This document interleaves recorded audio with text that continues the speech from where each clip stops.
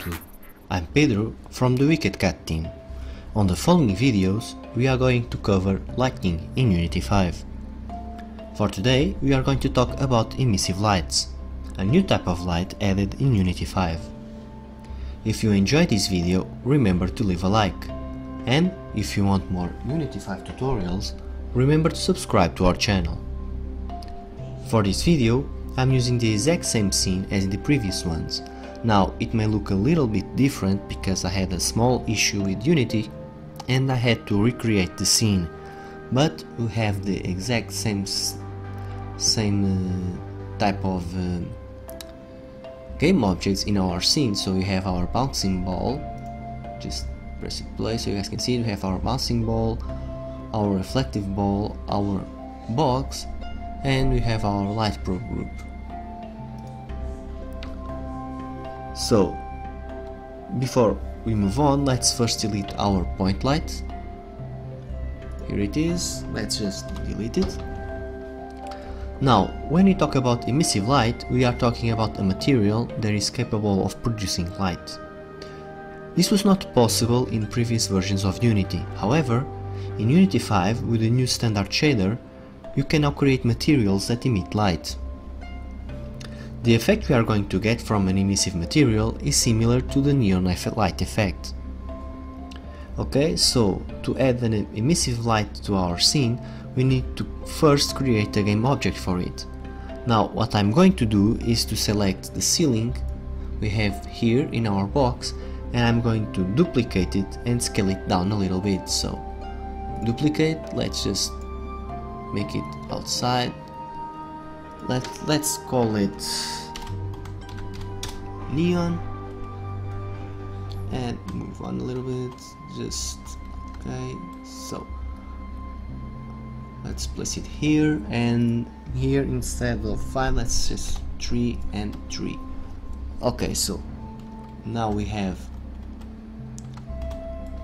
our object that will emit light So I already have uh, emissive a material with emissive light ready, here, this one here, the neon material. So I'm just going to drag it and drop it over our material. And here we have it. Now the, the box, as you guys can see, is emitting light. Now moving on to the material itself, as you guys can see here, um, we are working with the, the standard shader the new shader from from Unity and we are actually doing is working with this field here emission. Now the you can do several things here. For example you can change the color of the light. As you guys let me just drag this away a little bit so you guys can see it better we can change the color for example to purple or something like that. Just let's just keep it white for now.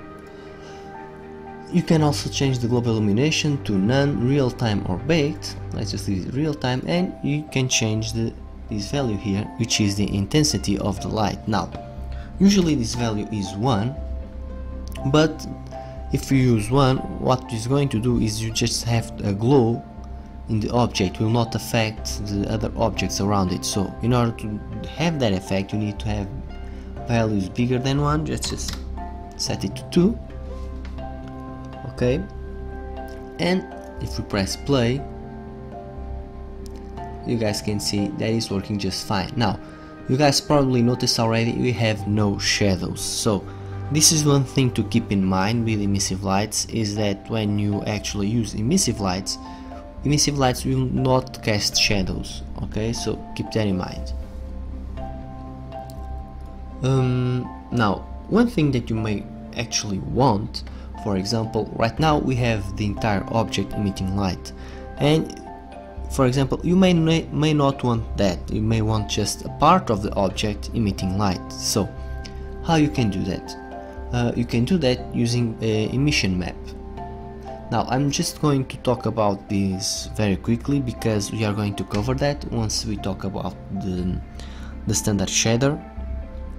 But just to give you guys an example I can go here. I have several materials as you guys can see and I can select let me see if you have one that you can actually work with. This one for example. And as you guys can see there are parts of the material that are not emitting light anymore. Now what we have here this texture is that you have black areas and white areas. Now on an emission map on the white areas uh, you are saying to the engine okay this area will emit light. On the dark areas you are saying you are not going to emit light. So that's why you, are, you have this effect here. So we want all to emit light so let's just leave it to none